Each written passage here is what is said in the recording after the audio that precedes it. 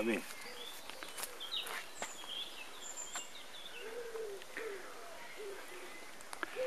Questo bellissimo parco non è un parco qualunque, è un parco di commemorazione di un fatto bellico e di sangue avvenuto il 4 giugno del 1944. Mentre, mentre dall'altra parte di Roma Sì, stavano entrando gli anglo-americani.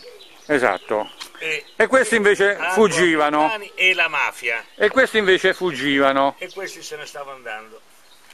E allora, persone e allora ricordiamo i nomi di questi patrioti che nonostante stessero fuggendo non fuggivano di, non fuggivano di loro iniziativa. No.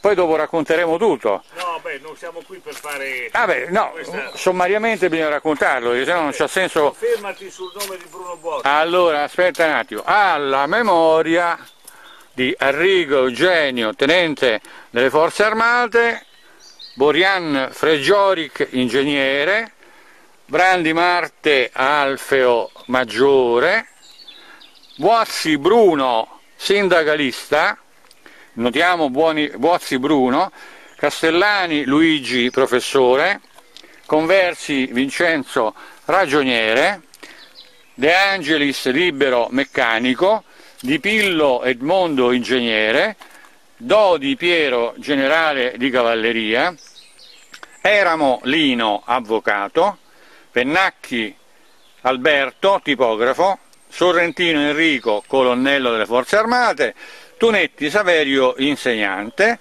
e l'inglese conosciuto che poi è stato identificato in Captain John Armstrong conosciuto meglio, identificato come Gabor Adler. E qui siamo di fronte a Questo tutto uno scenario un esponente de- della- del codice Rebecca o Sì, cose analoghe. Allora, eh, l'unica cosa che volevo dire No, questa. bisogna dire, questi non è che fuggivano per cazzi loro. Dillo te, dai, Eh. racconta tutto. Con l'ingresso degli americani, degli anglo-americani e quindi della mafia a Roma, e ricordiamoci che la mafia di Roma è, è è entrata il 4 giugno 1944, Dopo aver sfondato le difese della linea sì, dopo aver sfondato Gustav, linea Gustav, no, dopo aver sfondato soprattutto ad Anzio, ad dopo Anzio. non erano più stati in condizioni di controllare la situazione. Allora, questi sono stati gli ultimi eh, carcerati, che gli altri sono stati messi tutti in libertà. No, carcerati, non erano carcerati Erano carcerati. a Regina Celi, erano carcerati a Via Tasso. a Via Tasso, ricordiamolo bene, No, la famigerata Via Tasso, Sì, dove ci andavano ad essere torturate le persone. No, no, non è così. Alcuni sono stati torturati, alcuni, ma non tutti. Pochi per farli parlare. Io li avrei torturati, dico francamente, molto più con maggiore raffinatezza per farli parlare. Invece erano giù legnate, bastonate, genere. Comunque non è quello che stiamo dicendo. Queste persone sono state uccise da mano tedesca, ma il mandante non era tedesco. E ci basti dire questo soprattutto per ricordare che Bruno Buozzi è stato ucciso e la mia ipotesi Dai suoi concorrenti, diciamo così. va. Esattamente, e la mia ipotesi è, è- non è, nessuno l'ha mai obiettato, ci ha mai obiettato, gli altri sono morti per copertura della morte di Bruno Buozzi. Sì, perché era, era lui eh, quello da colpire, come eh, Mara- Marin che era da colpire nel fatto de- dell'eccidio di Parigi. Bravissimo. Esatto, Eh, Mare, mi pare, Marin. che è stato, è stato un grande eh, eh, economista che eh, nella sua pubblicistica, peraltro vastissima, è sempre, eh, si è sempre battuto contro gli economisti Dell'ufficialità, eh, dell'Accademia. a questa situazione. Ma io volevo ricordare un'altra cosa, io ho sempre sostenuto la tesi che a Dongo, dei 15 di Dongo, ne hanno uccisi 15, indipendentemente dalle posizioni che avevano, perché c'erano molti che erano ex ministri della Repubblica Sociale Italiana, ma sicuramente quelli che... Io ti volevo sempre fare dare una domanda particolare. Voglio Ma tu, tu del Bordica, poi mi dici del Bordica che cosa pensi Bordiga- in quella no, situazione? Bordiga no, che c'entra? Nel Bordiga faccia- fa parte di quel gruppo di eh, fondatori del Partito Comunista Italiano, compreso, compreso Nicolino Bobbacci. Il quale Nicolino Bombacci è stato ucciso fra quei 15 di Dongo. Bordiga... Non a caso, anche lì c'è una vedetta della gelosia. Ma chiamiamolo gelosia, ci dici sono dei rapporti molto più interessanti che usciranno eh, fuori probabilmente fra una cinquantina d'anni. E... Vabbè, diciamo dramma della gelosia per modo sì, di dire, ecco. Enfa enfaticamente. Sì, ricordiamo che Nicola Bombacci aveva tenuto sempre rapporti molto stretti con ambiti staliniani, diciamolo così, in maniera molto chiara per riuscire a capire per quale ragione e alcune persone, alcune persone ritennero eh, giusto far fuori tutte quelle persone. E infatti lì c'entra una storia non solo de, diciamo, della vita e della fuga di Mussolini, ma della lotta interna al Partito Comunista, che non, non, sembrerebbe proprio... Esattamente. Ecco. Nel caso particolare di Bruno Buozzi, all'epoca... Bruno... Sempre analogo a questo discorso, eh, ricordiamolo sempre. Eh, Bruno Buozzi era stato nominato... Perché questi erano comunisti veri quelli della prima ora, cioè, quelli che poi sono subentrati sono erano i, discepoli indisciplinati col K, certo. che poi si sono trasformati in catto comunista, esatto. lo sappiamo perfettamente. Certo. E, e, no, noi lo sappiamo, ma chi sì. ci ascolta forse ah, non lo sa. No, ancora, se no avrebbero, avrebbero indirizzato eh, prima diversamente il loro voto. E, Bruno Bozzi all'epoca era il segretario generale della CGL e non dico per quale ragione, perché io basta che vada, le persone si vadano a informare e, e si capisce perfettamente come fu arrestato Bruno Buozzi, quale era ufficialmente, ufficialmente con un altro nome e ufficialmente l'hanno sempre tenuto con altro nome. Tant'è vero che quando lui è partito con l'ultimo camion... Ricordiamoci che quello era l'ultimo treno per Yuma. Sì, esatto, è partito con l'ultimo camion e c'erano i familiari che stavano lì a vedere perché gli altri erano stati messi in libertà. E Bruno Buozzi, quando è salito su quel camion, ai familiari, mi pare la moglie, disse state tranquilli, state tranquilli. Andiamo in Germania. No, no, non doveva andare in Vabbè, Germania. doveva andare alla Repubblica Sociale Italiana e poi forse in Germania. Doveva collaborare con Nicolino Bombacci per le leggi sulla socializzazione delle imprese. Esattamente quella che poi fu redatta l'ultimo giorno prima della caduta della Repubblica Sociale. Esattamente, meglio tardi che mai. Ed è stata eh, la, legge che è stata, la prima legge che è stata abrogata appena è finita la guerra. Quindi immaginatevi un po'. L'hanno inserita in Costituzione, esatto. però molto edulcorata. Molto edulcorata perché nella Costituzione c'erano delle persone che ci tenevano. Ah, articolo 47. Esattamente, quindi eh, No, hai fatto bene a ricordarlo perché la cosa è questa. Ricordiamo sempre che Bruno Buozzi era, all'epoca in cui fu assassinato, era il segretario generale della CGL e si è sempre opposto alla divisione della CGL in due tronconi, quello democristiano e quello comunista. Questa è la ragione vera per cui l'hanno fatto fuori. La faida interna, solito. Ma più che interna erano gli interessi di queste due che erano interessati al, a confiscare tutti i beni che erano enormi dei sindacati. Come gli attuali, pochi sanno che le eh, eh, associazioni della Confederazione Generale dei Sindacati e tutte le altre tre maggiori sì. categorie sono la prima grande multinazionale italiana con circa 5 mila miliardi di euro di quotazione dei beni. In palazzi. In, esattamente, in palazzi, che erano i vecchi palazzi dei sindacati fascisti. Esattamente. Detto questo, costruiti tutti nella riforma fascista del 23, 24, 25. No, fino, fino al 35, sì, 36. a partire da quegli anni lì fino al 35, 36. Il palazzo che adesso vi risultava era del Partito Comunista via Bottega Oscure, era il sindacato fascista, mi pare, del cinema, del cinematografico, via Bottega Oscure. Si può vedere benissimo perché è rimasto intatto com'era, ci sono dei bellissimi affreschi proprio in quel senso. Detto questo, per far vedere quanto sia stato importante eh, questo questa, questa strage, questo fatto. Questa strage eh, diciamo tra parentesi... No, che... quanto ha inciso sulla vita sociale, esatto. politica, economica e sindacale e nessuno se lo ricorda mai no, tranne quella delegazione di disperati che viene qui il 4 giugno a fare eh, la commemorazione. Allora, vi voglio ricordare, anzi voglio fare presente che se ne accorsero, immaginate un po', quando il buon Craxi entrò in in rotta di collisione col Partito Comunista, provocatoriamente venne qui a iniziare la, a fare la prima rievocazione e dove fece un discorso qui, chiaramente in senso anticomunista, chiaramente, quindi queste cose sono documentate, eccetera. Ho detto questo, e siccome la realtà è questa, noi abbiamo parlato di mafia e a conferma di quello che sta succedendo oggi in Italia voglio leggere due cose. La prima è la presentazione di questo importantissimo libro di Gianluigi Paragone. Ora Gianluigi Paragone è... È un personaggio molto discutibile, diciamo. Sì, ma il bello è questo, che lui ha sempre tenuto i piedi in molte staffe, soprattutto in quel suo programma televisivo.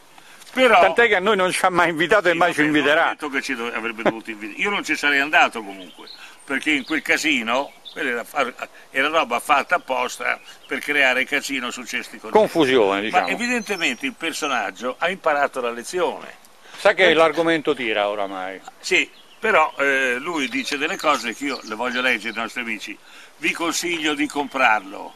Il libro è stato pubblicato da Pieme e voglio leggere perché sono un paio di paginette ed è veramente, ed è veramente interessante. Il perverso intreccio tra politica e finanza che ci frega il portafoglio e la vita. Ora, ripeto, Gianluigi Paragone, quando fa le sue trasmissioni, sembra che sia al di fuori di questi problemi. In realtà può anche darsi che ci sia stata una conversione un, non credo. Un viaggio, un viaggio... Sulla via di Damasco non credo. Ecco, strada, una, le, le vie di Damasco si aprono dappertutto. Hai capito? Anche qui, eh, ricordiamoci che qui fecero finta, immaginate, io conosco tutta la storia per una serie di ragioni che è inutile che le ripeto perché gli amici possono venire qui e possono vedere su Alba Mediterranea, su Accademia della Verità e della, della Libertà, più di una volta siamo venuti qui, abbiamo raccontato in retroscena della questione. Eh, a un certo punto, arrivati a questo punto, eh, l'autobus, il, il camion, era un camion, e cominciò a sbuffare, era rotto, allora si infilarono qua dentro. Che era un bosco, ricordiamocelo bene, quindi non era, era un campo tardi, aperto. Era sera tardi e li tennero prigionieri in una cascina qui vicino.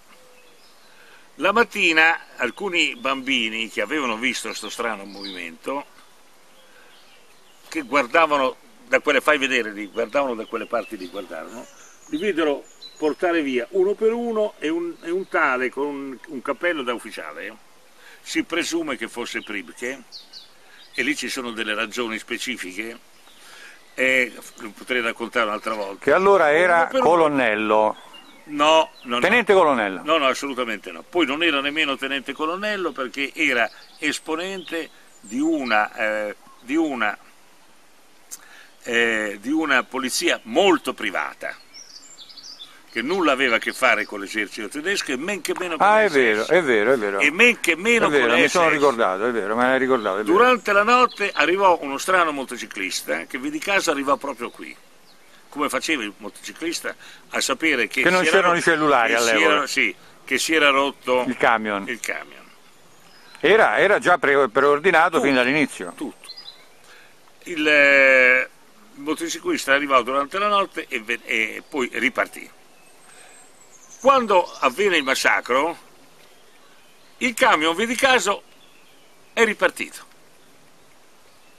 Quindi non potevano dire che era guasto non potevano averlo riparato in una notte, perché quei bambini lì, dei contadini che stavano sopra, non avevano mai visto che il camion fosse riparato. C'è di più. Siccome questo era l'ultimo camion, e siccome la colonna era abbastanza lunga, perché era partita tutta quella, quella truppa tedesca, che ripeto non erano SS, l'hanno detto ma non erano SS, era una polizia privata, Tipo Sturmtruppen. Eh? tipo Sturmtruppen. Sì, era, era beh, Sturm, Sturmtruppen. Sturmtruppen. Sì, Sturmtruppen significa truppe d'assalto sì, sì. prese per il culo col Sì. solito vignettaro, ma quelle erano vere, le Sturmtruppen Era una era una battuta. l'esercito, era, sì, Lo erano so. truppe d'assalto dell'esercito Lo regolare. so, so. E, e dunque, f- f- questi le- con le mani legate dietro la schiena furono portati qui uno per uno e quel tale col cappello da ufficiale, che appunto non era ufficiale dell'esercito e nemmeno della SS, ma di una polizia privata che era la polizia che eh, faceva la sorveglianza di Villa Volskonsky, cioè la sede dell'ambasciata tedesca, che pochi mesi prima era stata venduta agli inglesi in Vaticano. Queste cose, cari amici, le dovete sapere. Questa i- i- interferenza fra Germania e, e- e Inghilterra è Molto molto, strana, molto ma è anche molto ri- ripetitiva. In al- Certo, altri casi, ricordiamoci il volo. In, in Inghilterra. è eccezionale. Eh. Vabbè, lì nel caso particolare il volo fu intercettato, nel senso che No, ricordiamoci i motori Rolls Royce che l'Inghilterra vendeva Ah, per- sì. per fare le- Certo. le- gli aviocetti 2002 della, della, Della V2. del- no, del- del- non della V2, della Messerschmitt. Ah, eh, beh certo, beh, è ovvio. Ti immagini altro che quello. Capito? Comunque la Cioè, Messerschmitt è stata ti pare che fra, fra nemici continua grande- la fornitura dei- di, di- di motori da reazione? È stata una grande marca. Comunque, quando Rudolf Hess, che ricordo era nativo di Alessandria d'Egitto, Che sappiamo bene da che genie e progenie proviene, Esattamente, volò, in Egitto non a caso, volò per prendere contatti con certi ambienti inglesi e in- in- nell'attico- nell'ambito di una diciamo lotta- allora bene che non era né inglese né tedesco. No, lui era nato, no, no, un momento, lui era nato a Alessandria d'Egitto, come tanti italiani. Sì. Cioè, Alessandria d'Egitto È è piena di italiani. Un grande, un grande crogiuolo da questo punto di vista. Ma sempre stato un crogiolo da quando Alessandria d'Egitto era d'Egitto davvero. Esattamente.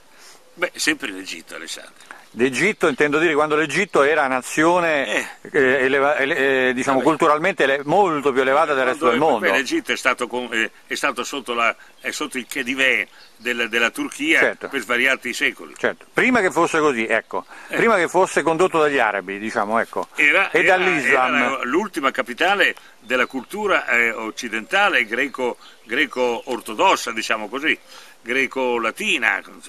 Ci hanno studiato e ci hanno insegnato i grandi, Le migliori i menti grandi- dell'epoca. I grandi fondatori del cristianesimo. E ci hanno pure giocato con i figli di puttana tipo San Cirillo, che è stato giustamente, visto che era il più grande figlio di puttana in circolazione, dichiarato padre della Chiesa. Uno dei quattro padri della Chiesa. Esatto, ignorando il vero padre della Chiesa che è stato Seneca, ricordiamocelo bene. Allora, tornando a noi, eh, questo famoso volo fu intercettato nel senso che lui avrebbe dovuto incontrare certe personalità e invece fu beccato dai, dalle persone che... che eh, Facevano il lavoro loro sul serio. sì, dalla antiaerea. per conto del buon Churchill. Certo. Dopodiché, eh, che è successo? Al buon Bu- Rudolf buon, Hess... Ce- buon Churchill è un eufemismo, ricordiamolo Sì, sempre. bene, eh. Eh, No, no, non te, Sì. lo so che tu lo sai, loro forse non lo sanno. Il buon, il buon eh, Rudolf Hess passò tutto il resto della sua vita fino a rimanere da solo in un carcere nel cuore della E, e Germania. poi fu liberato all'età di 96 anni. Sì, quando si suicidò. Nel giorno in cui ebbe la liberazione, vedi caso, si suicidò. Quindi, Chissà come, chissà perché. esatta, ecco appunto, a 96 anni c'hai la forza, il coraggio e la disperazione di suicidarti. Se aspetti tre giorni e, vi- e diventa automatica. Esattamente, esattamente. Allora, leggiamo questo scritto di Gianluigi Paragone, ve lo ricordo, cari amici, se volete leggere un libro interessante dovete comprare questo libro. Caro risparmiatore, i tuoi soldi sono i nostri. Pertanto non ci richieda perché noi li facciamo girare nel nostro interesse. Nel caso non fosse soddisfatto del servizio, non importa, tanto non ci troverà. Siamo nell'era del mondo liquido, dei servizi materiali dei call center. Non sarebbe meglio se ce lo dicessero così chiaramente, invece di illuderci con pubblicità da baci perugina? Almeno uno lo sa. Lo sa, quelle che ci mancano in realtà sono le informazioni è la conoscenza, noi andiamo sulla fiducia, loro sulla nostra ignoranza. Questa è la prefazione. Ecco perché noi facciamo questa opera di, di, educazione, di e controinformazione. Di, di libri. Loro sono il Gang Bank, un sistema di saccheggio instaurato dalle elites, colossi bancari, fondi di investimento, agenzie di rating, multinazionali che controllano la finanza globale. Dilagano come ordie barbariche mosse da una, sede, da una sete inestinguibile, non limitandosi ad applicare le loro spietate strategie, ma spacciandola addirittura per interventi salvifici. L'Italia è un tragico esempio, lo scrive Gianluigi Paragone, non lo diciamo noi. Gianluigi Paragone riprende pari pari quello che negli anni 50 scriveva un grande eh, sociologo francese, Henri Coston, in un suo libro, oltre a essere il direttore di una grande rivista che mi compiacevo di ricevere, mm, era anche l'autore di un libro interessantissimo, evidentemente mai tradotto in Italia, io ricordo che ne entrai in possesso nel lontano 1964, intitolato Le financiers qui mènent le monde, i finanzieri che controllano il mondo, nel 1964. Henri Constant. È facile trovarlo anche nelle varie... Bancarelle? Usati, no, bancarelle italiane no, ma usati, sì, usati nelle varie Amazon, sta roba qua. Per 25 anni è stato un perfetto terreno di caccia L'operazione è incominciata, lo sappiamo, con loro signori messi a capo eh, della, della, della Repubblica, delle varie agenzie, delle centrale, istituzioni, delle varie agenzie, delle varie banche, tutti loro. E poi dice, dice sei complottista, quello, eh, quello non era un complotto. No. Per 25 anni è stato un perfetto terreno di caccia.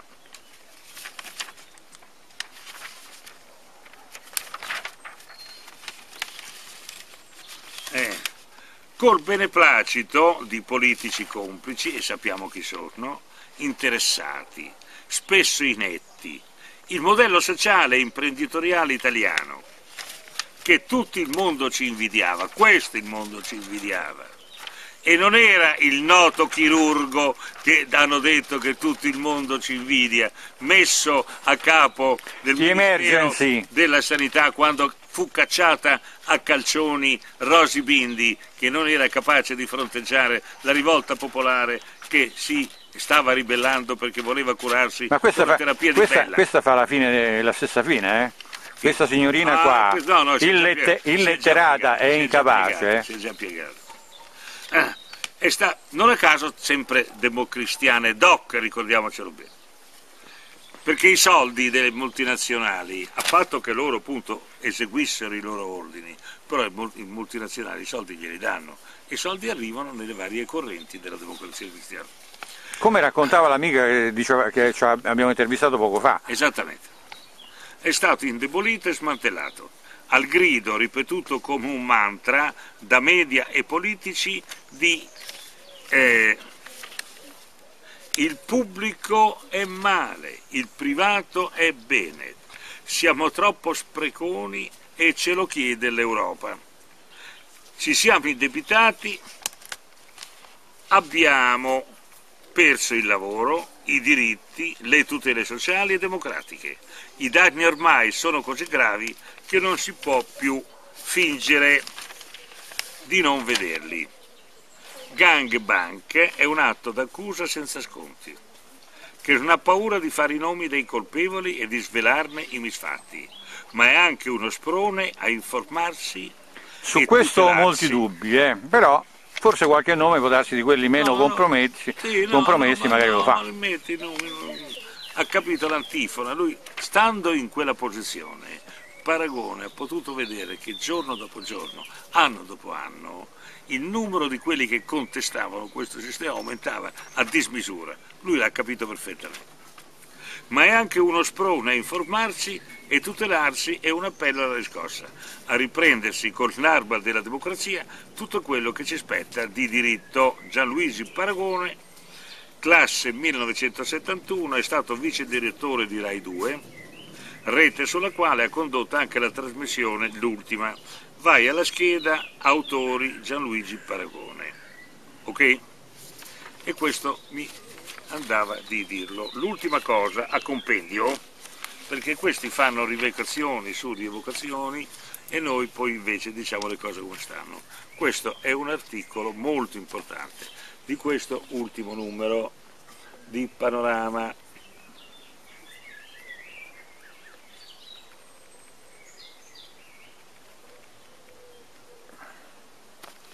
Allora qui c'è scritto, c'è un articolo di Martelli, niente meno. Oh, ogni tanto rinasce. Sì. Fa qualche trasmissione in televisione, fa qualche difesa del no. sistema del, di Tangentopoli, ma in realtà io non ho visto nessuna scrive. mutazione. No, senti quello che scrive. È stato, è stato uno dei più tiepidi del regime crexiano, fuori discussione anche perché presumo che fosse un personaggio sufficientemente ricattabile. In ogni caso, eh, quando scrive queste cose, dice quello che deve dire.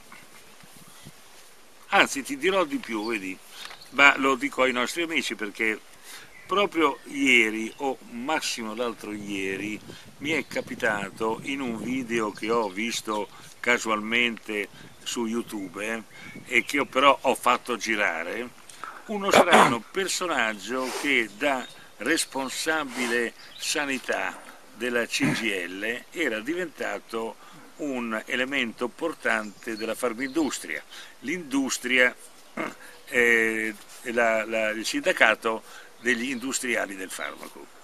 Questa persona ha avuto un dibattito molto grosso contro questa legge delle, delle dell'obbligo delle vaccinazioni ed è molto interessante e lo invito i nostri amici perché se vogliono lo possono trovare. Il personaggio si chiama Ivan Cavicchi ed è un noto, eh, è stato, ma credo che lo sia ancora, un noto sociologo della sanità, scrivendo parecchi libri di difficile comprensione. Però eh, invito i nostri amici che sono interessati alla questione dei vaccini di andarsi a vedere quel video. Il personaggio si chiama Ivan Cavicchi. Posso proseguire? Eh. Con questo chiudiamo. Quante lacrime di coccodrillo? Perché qui, in queste poche frasi, svela esattamente qual è la situazione. Adesso si stanno preparando a fare le lacrime per Falcone quelli stessi che le hanno condannato a morte. E qui c'è scritto. All'epoca dei veleni di Palermo e dell'attentato di Capaci, chi scrive era ministro della giustizia e lavorava a fianco di Giovanni Falcone e qui, con documenti ufficiali, ricostruisce chi fossero i nemici del magistrato. C'è un documento che meglio di ogni altro racconta chi era Giovanni Falcone il suo metodo investigativo, la sua probità di uomo e di giudice e all'opposto la faziosità, la non professionalità e l'ignoranza giuridica dei suoi detrattori. La non professionalità e l'ignoranza giuridica dei magistrati. I suoi detrattori sono i magistrati. Sempre faide interne. Certo. È il verbale, ma interne a che cosa? Ad apparati interne alla mafia. Eh certo. Oh, ecco. È il verbale dell'interrogatorio cui Falcone fu sottoposto dal Consiglio Superiore della Magistratura il 15 ottobre 1991. Io ho parlato in un mio video su Facebook della solitudine del condannato a morte. E lo ripeto, il condannato a morte è sempre solo. E vorrei ricordare qualcuno, eh, l'ho ricordato nel mio intervento soprattutto dalla Chiesa. ma la solitudine di Dalla Chiesa, poco prima di essere assassinato, è stata anche documentata da un grande giornalista, da Giorgio Bocca, che lo andò a trovare alla prefettura di Palermo e dove lui era lì da solo, da solo, abbandonato. Ad aspettare l'esecuzione. Esattamente. La denuncia firmata da Leoluca Orlando Cascio cinque volte sì e poi se la prendono con Ciancimino e poi se la prendono con Ciancimino meglio non aprire senz'altro varco va. avere no dice, allora no, no no no non vale la pena non lo rimaniamo no, proprio no, la, la denuncia la denuncia di Leoluca Orlando Cascio contro, contro Falcone era che lui, Falcone, non aveva indagato su Salvo Limo, Lima, come se tutti non sapessero chi era Salvo Lima. Ora, chi è Leoluca Orlando Cash? Un individuo pescato da un noto gesuita, il famoso padre Sorge, ex direttore della civiltà cattolica, che a un certo punto se ne è andato dalla direzione della civiltà cattolica e è andato in Sicilia a portare del bene. No, e tanto è vero che cosa ha tirato fuori, che cosa ha pescato dal mazzo, no? Dal cucuzzaio, che cosa ha pescato? Leoluca Orlando Cascio, che adesso si è ricandidato di nuovo. Ancora? Sì, dopo cinque, dopo cinque. E poi se la prendono con Ciancimino. Vabbè. Eh, dunque, firmata da Leoluca Orlando Cascio, era di non aver indagato Salvo Lima e l'imprenditore Costanzo come mandanti dell'assassinio di Piersanti Mantarella. Allora, non metto in dubbio che Piersanti Mantarella sia stato assassinato da un democristiano come lui, come Piersanti Mattarella. Non lo metto assolutamente in dubbio. Anche lì fai l'interna. Chiaro? Mi dicessero il contrario, anzi, me lo dicesse il fratello, l'attuale Presidente della Repubblica. Eh? Lasciamo perdere, non entriamo troppo in dettaglio, se no non usciamo da quanto più. Mi risulta, da quanto mi risulta, visto che stanno facendo anche delle rivocazioni del commissario Calabresi, mi risulta, perché c'ero anch'io, ma non ero nella stessa classe, che nella scuola dove andavo io c'era l'attuale Presidente della Repubblica e c'era anche... Eh? C'erano parecchi? Sì, ma comunque... C'era anche Vincenzo Scotti, pluricondannato. Sì, vabbè, no, lì è stata tutta un'altra operazione. Eh, e c'era anche come studenti, come studenti il commissario Calabresi. Io non ricordo bene se erano l'attuale Presidente della Repubblica e il commissario Calabresi nella stessa classe, nella stessa classe ma di classi ce n'erano poche perché noi avevamo una linea liceo classico e una linea liceo scientifico, non è che c'erano più classi. E siccome erano più o meno della stessa età, dovevano essere se no un anno o due anni dopo di me capito? Quindi eh, no, è strano che l'attuale Presidente della Repubblica non abbia mai ricordato il fratello, martire, è vero, delle, delle mene andreottiane, perché se, siccome Salvolina Lima era esattore di Andreotti. Esattamente. E Salvo Lima ha, è stato il mandante della morte di Piersanti Mattarella ci stupisce come l'attuale Presidente della Repubblica non ricordi Ricordiamo nulla. sempre che il signor Andreotti fu condannato, sì. non scontò la pena perché nel frattempo i, i reati erano stati prescritti, oh, a, a difesa, non perché era innocente, difesa, fu, era risultato sì. pienamente responsabile dei fatti. A difesa di Andreotti, e lo dobbiamo dire, Andreotti non era un picciotto, era tutt'altro e noi sappiamo perfettamente chi era. Però usava la mafia per i suoi fini politici. Come l'ha usata Giolitti, ad esempio, quindi non è che sia una novità. Come l'hanno usata gli americani per fare lo sbarco in Sicilia e come lo utilizzano gli occidentali per controllare l'Italia. Non è soltanto una questione di, di tre o quattro finanzieri da strapazzo come può essere stato eh, quello che l'hanno trovato impiccato sotto il ponte, sotto il ponte dei frati neri. frati neri o come quell'altro eccezionale eh, finanziere col, col caffè, col che caffè. si è bevuto una, una tazzina Tassi di caffè, caffè eh, proseguiamo. Leggeremo anche cose in merito perché è molto divertente. Diciamo il sarcasmo allo stato puro. Sì, no, ma guarda, pare che il, il caffein, caffeinomane l'avesse fatto per fare un eccesso di, di, di, sceneggiata, anche perché lui di lì non sì, sarebbe più no, uscito. per cercare di uscire attraverso la diciamo, rappresentazione di una falsa morte. Esattamente. Solo che la morte era vera. Sì, e così imparano, un'altra volta. Ma lì, quella gente lì, è la gente che è talmente accanita contro i propri nemici che si mette pure a morire col rischio di morire pur di far risultare che è stato assassinato da qualcuno. Falcone conferma, ci sono appalti di poco conto e appalti miliardari per la rete fognaria e l'illuminazione, noi lo sappiamo perfettamente. Per via diretta. Ci stiamo implicati in qualche modo. Siamo così per conoscenza diretta. E ribadisce non è forse vero che ci sono degli appalti miliardari per le, per le fognature? E noi diciamo di sì, che c'è implicata tanta gente, soprattutto di, implic ci sono implicati certi enti che passano per essere antimafia. Nonostante i cambiamenti, la politica dei grandi appalti a Palermo non è ancora trasparente. Ma guarda. Ma non solo a Palermo, anche a Catania, sempre quello con Orlando. Come anche a Milano sì, sì, sì. o Roma. Sì, sì, ma Catania è più vicina a Palermo di Milano. Con Orlando sindaco è tornata a imperare Ciancimino. La denuncia di Orlando era dunque una vendetta. Un pentito aveva riferito una frase equivoca di Costanzo a proposito del generale Carlo Alberto dalla Chiesa e il Consiglio Superiore della Magistratura chiede al giudice più famoso al mondo, era già il giudice più famoso al mondo, come lo è stato anche dalla Chiesa, ricordiamocelo bene, perché non agì.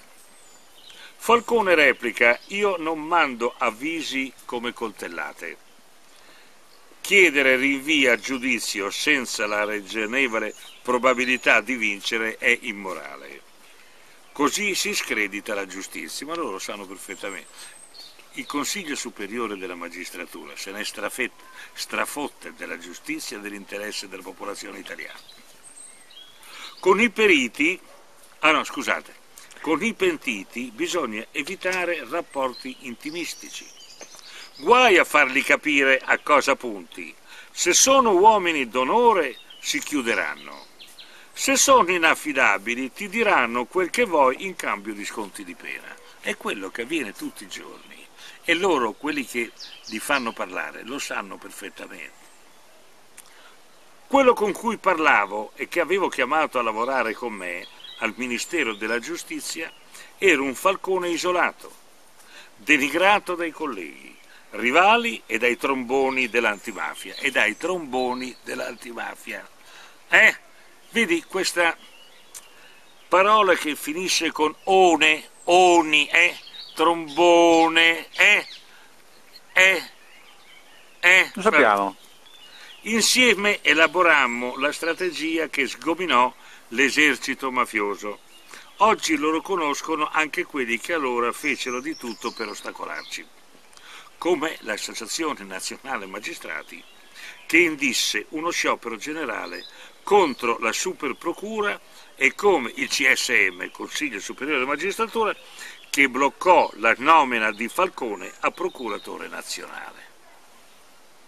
Dopo la strage, lesti ad ammantarsi della memoria di Falcone furono anche quelli del pool Mani Pulite.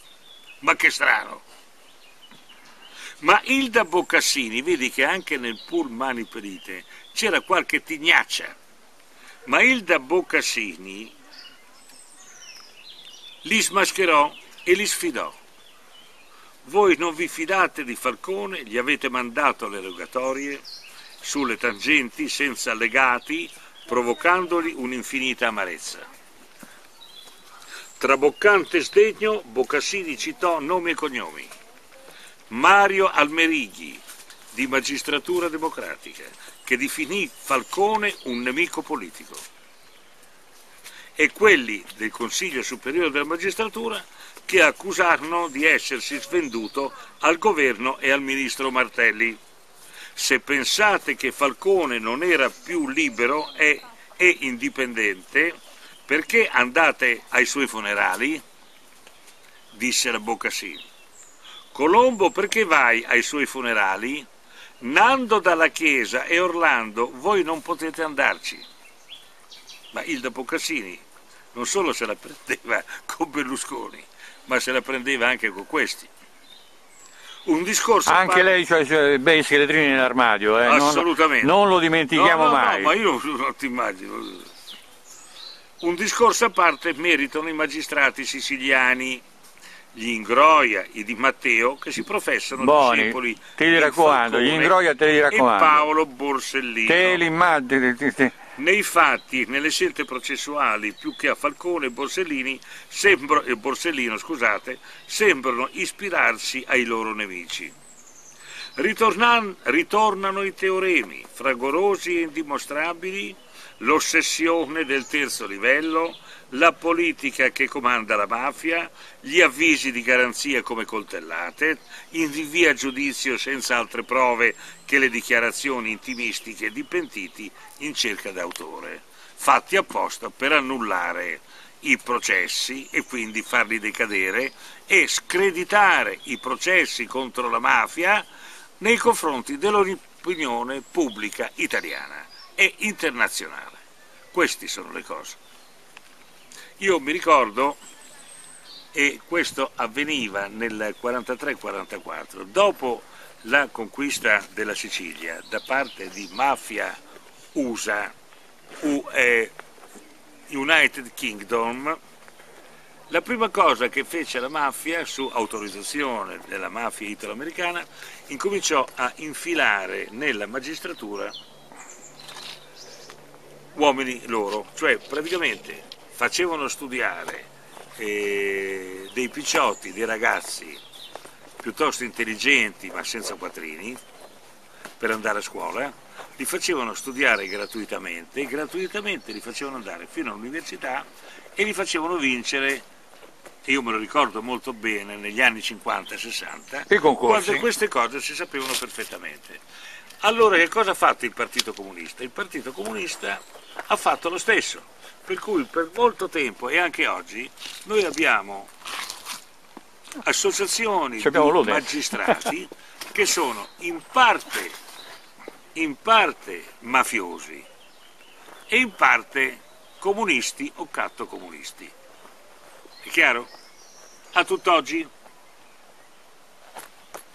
Qui è finita, non solo, ma ricordo che moltissimi assassini di magistrati comunisti sono stati indetti e organizzati dalla mafia al fine di stabilire una primazia nell'ambito della magistratura, non perché, non perché questi magistrati volessero perseguire la giustizia, ma per un rapporto di forza all'interno della magistratura. Sempre faide interne. Altre tre righe abbiamo chiuso. In sottofondo si ode il rumore di processi vivi in tv e morti nei tribunali, mentre a Palermo Orlando si ricandida sindaco per la quinta volta. Quindi con la benedizione di, di chi? Del principe dei Gesuiti. Serge. No, Sorge che l'ha creato, l'ha preso dal mazzo e il principe dei Gesuiti chi è? È Francischiello. Se Sorge, capintesta dei Gesuiti, ha inventato Orlando e altri della congrega, l'attuale Papa, cioè Pater Patrum. Vescovo di Roma, dice lui. Eh? Esattamente, eh? l'attuale Papa, cioè padre dei padri. Quello che una volta si chiamava Pater Patrutus ed era ben altra cosa di questo stronzetto qui, capito? Ecco. Allora è chiaro che Leoluco Erlando verrà di nuovo nominato sindaco di Palermo, e sempre in onore di chi? Di Sant'Ignazio, il quale non solo era quello che era, ma ebbe la visione niente meno della Madonna a circa 300 metri da, da qua. Da qui, chiaro? 300 metri no, un paio di chilometri, va. Diciamo un paio di chilometri, ma in linea d'aria non sono Sì, sì, vabbè. Sarà, vabbè, ti voglio, Diamoci... ti voglio dare ragione, un Sì. chilometro. Vabbè. Cari amici, vi invito tutti a una preghiera proprio nella sede dove eh, a Sant'Ignazio da Loyola apparve, vedi caso, no? Io invece la farei Non Carmelo Bene. in favore di questi poveri disgraziati qua. E vabbè, che cosa gli vuoi fare? Una prece, una ah, prece. una pre- Sono stati uccisi e ricordo che eh, vennero ricordati solo da Craxi quando il braccio di ferro tra il, Craxi e il Partito Comunista era diventato piuttosto forte. Sempre? Sempre Solong e Solong. noi sempre, come sapete voi, siamo fedeli al grande Dio Priepo, che di questi qui, queste foreste, eh, albergava. Bene. Alla prossima. Sempre.